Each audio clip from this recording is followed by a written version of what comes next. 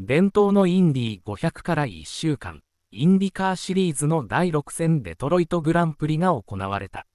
優勝したのはベテランのスコット・ディクソン、チップ・ガナッシで、インディカー通算58勝目となった。デトロイトグランプリは、天候により目まぐるしく路面コンディションが変わった。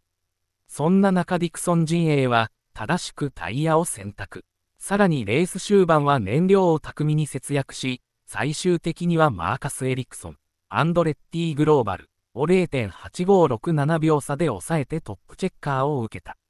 今回のレースは合計100周で行われたが、レース中に8回もコーション、合計47周が出される荒れた展開だった。そんなレースでの燃費走行について、ディクソンは次のように説明した。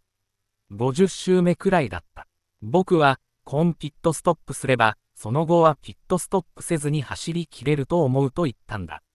もちろん、そこまでリスクを冒したわけじゃない。でも、チームは完璧な判断を下し、正しい戦略を取った。そして勝ったんだ。最高じゃないか。エリクソンは最終スティントに入った時は4番手だった。そこから追い上げを見せたが、2位が精一杯だった。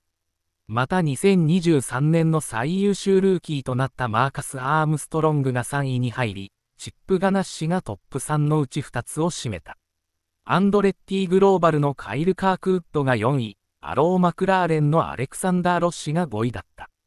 複数回の接触とペナルティで厳しいレースを強いられたウィル・パワー、ペンスキーが6位に入り、7位のパトリシオ・オワード、アロー・マクラーレンを抑えた。